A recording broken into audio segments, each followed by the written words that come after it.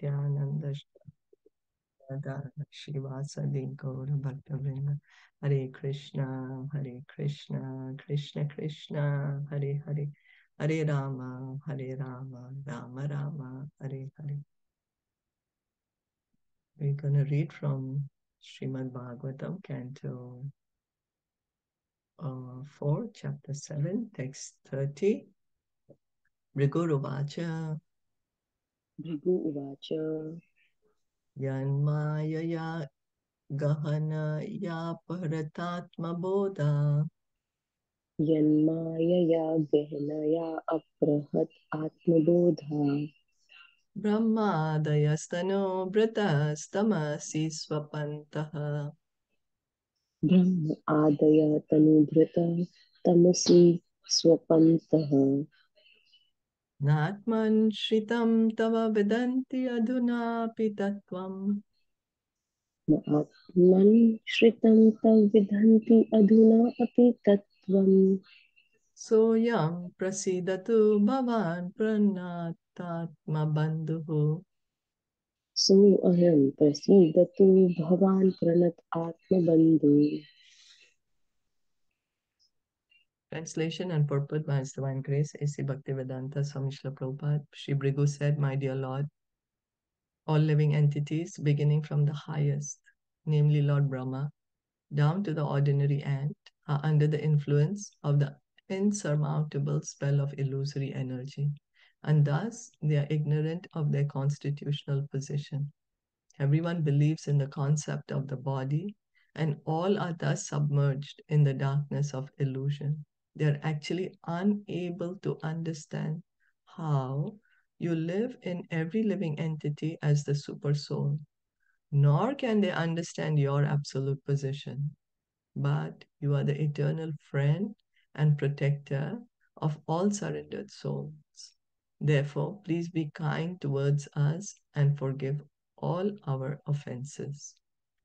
So, Bhrigu Muni is very nicely pointing out our precarious condition in this material world. He's saying, right from Lord Brahma to the ant, everyone is under the influence of Maya, influence of insurmountable spell of illusory energy, birth, death, old age, and disease. We are all being subject to.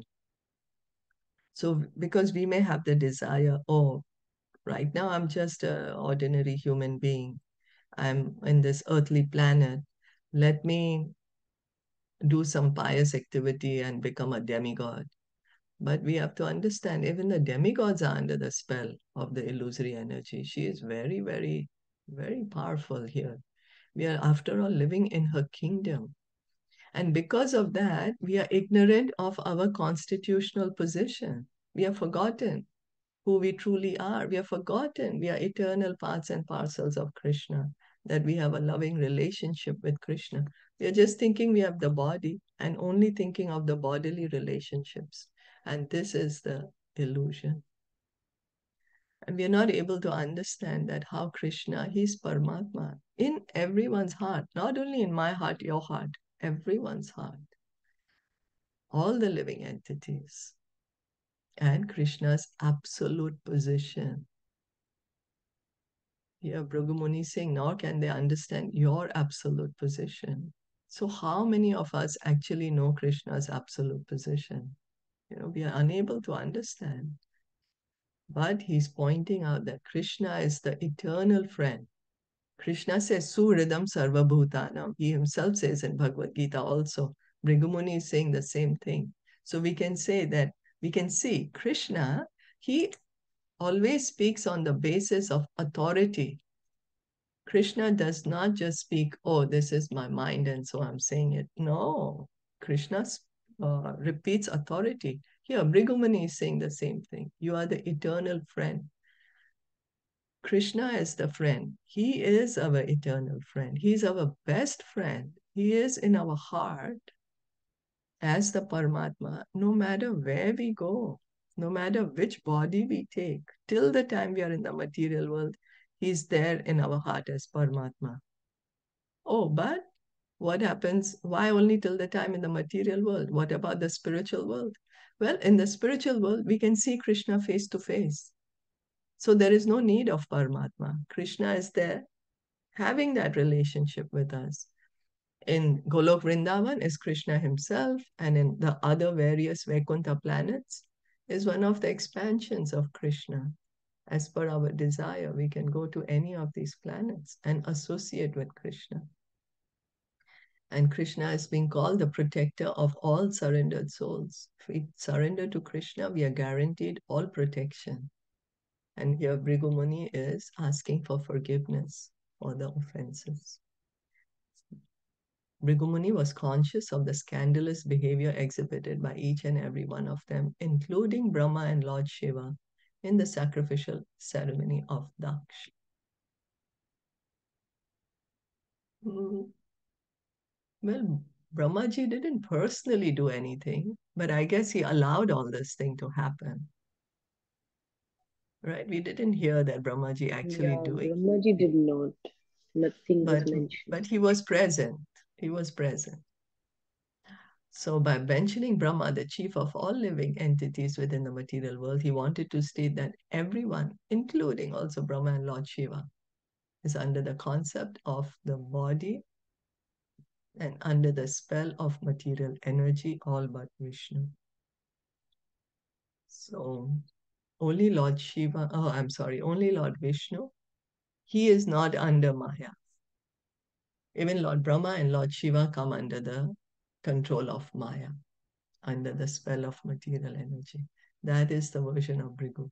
As long as one is under the concept of the body as self, it is very difficult to understand the super soul or the supreme personality of Godhead.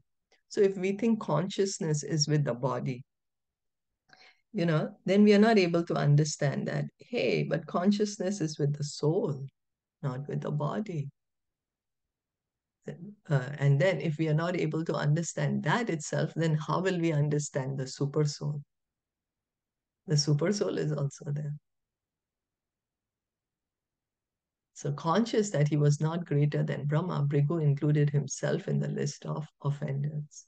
So Bhrigu Muni is not saying, oh, only they did bad or I didn't do. He, he is also agreeing. He himself is also included in all this scandalous activities, as he's pointing out. Ignorant personalities or conditioned souls have no choice but to accept their precarious condition under material nature. The only remedy is to surrender to Vishnu and always pray to be excused. So, ignorant personalities or conditioned souls. So, what is the ignorance? Ignorance is we have forgotten our eternal relationship with Krishna. We have forgotten our true identity. So now, because of that, what we are doing is we are acting under the laws of material nature, the modes of material nature. Then, how do we get out of here? What is the solution?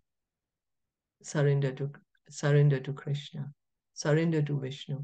That's what Krishna says also, Sarva Dharmam Parityajya. He says abandon. He uses the word abandon. You know what does it mean? Abandon. Just, just leave it as it is. Right away, give it up and surrender to me. This is the remedy that we have been given. So, how do we surrender in this age of Kali? How? What, what does surrender mean? We surrender when we begin chanting Hare Krishna, when we begin hearing Bhagavad Gita from the authorities, then we are beginning our surrender to Krishna. And then what do we pray? Pray to be excused.